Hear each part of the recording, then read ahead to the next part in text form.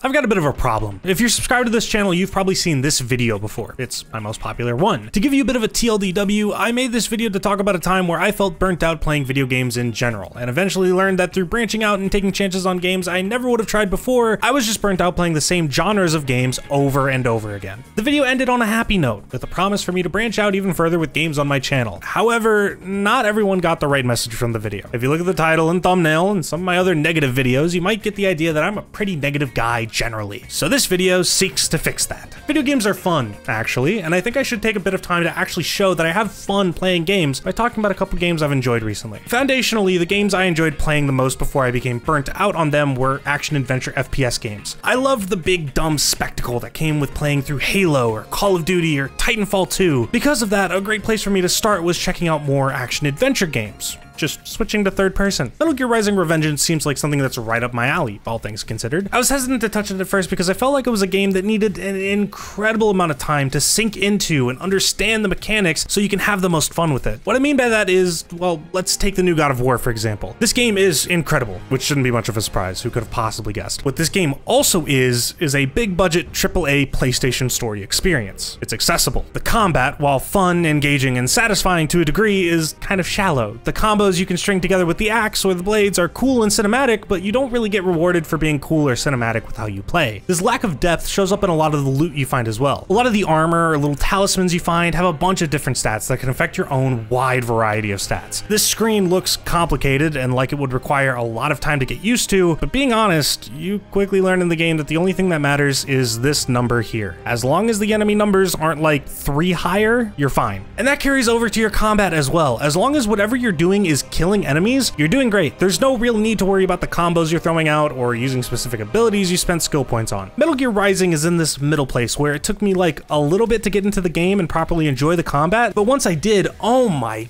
God, this game is big action incarnate, and playing it was such an amazing experience. The feeling of chopping up anything I want into a gorgillion tiny little pieces is incomparable to anything else I've done in a game. Devil May Cry 5 is on the end of the spectrum, where it takes the most amount of time and effort to learn and get used to the mechanics, but when I finally learned it, it's like God himself came down and blessed my controller. This game is addictive because each enemy encounter is a new chance to be told I'm doing smoke sexy style in a game. Unfortunately, it took three playthroughs for me to actually finish the game. Third time's the charm, and even though I was still hesitant to sink the time into the game needed to learn my combos across three, technically four characters, it was worth it, and I'm so glad I took the chance. Games that excelled through storytelling left me hesitant to explore them because I'm kind of incredibly stupid. The Last of Us left me nearly in tears, even though I unfortunately knew a few big spoilers going in. Getting to connect with Ellie and Joel and going on a journey with these characters, it comes to a point where even though Joel is choosing to objectively do something incredibly selfish in spite of the benefits it might have for humanity as a whole, like, I don't know, perhaps inventing an effective resistance to the cordyceps virus for all of humanity, I still support Joel because I actually care about Ellie. I developed a liking for these characters because of their personalities and interactions throughout the whole game. It's to the point that these characters feel like they could hop out of the screen at any moment and hold a conversation. God of War Ragnarok got me to buy a PS5. I was so excited to know where the story went after playing through the first, fourth game that I just needed to know. Once again, I'm left nearly crying towards the end, reconciling with Freya, seeing Kratos and Atreus connect with each other, more of Sindri and Brok, and getting to know all the new antagonists introduced throughout the game. Everyone in this game eventually lets go or is forced to let go of something important to them, Kratos especially. My favorite story game, so far at least,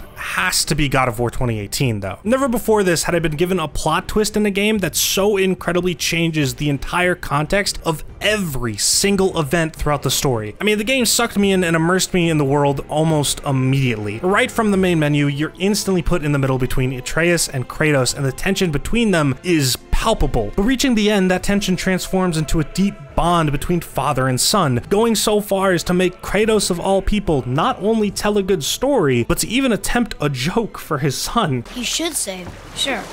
I'll look for it as soon as you show me how. Yes, he did say that.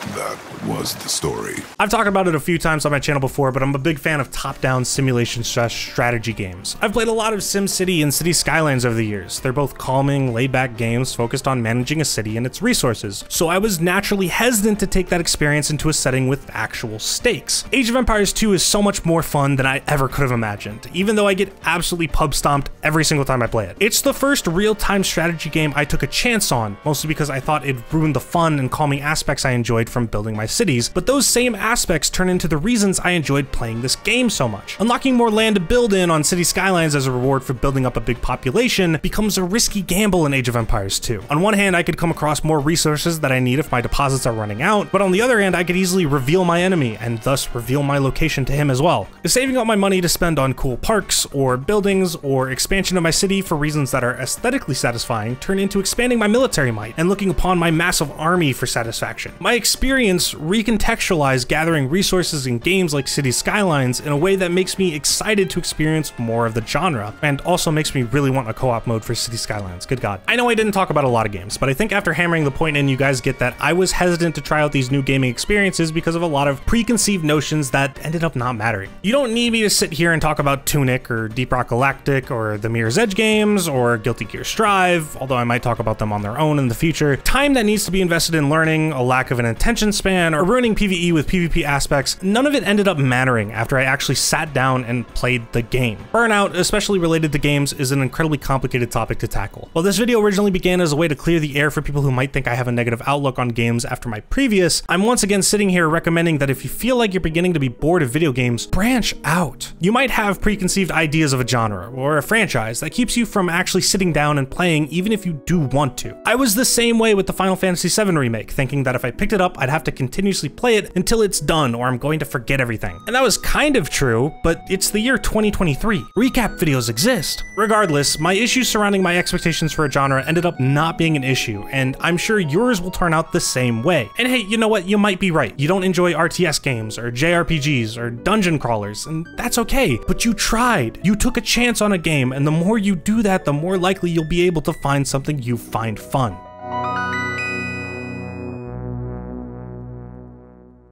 Oh yeah, and I also played Elden Ring. That was my favorite game last year.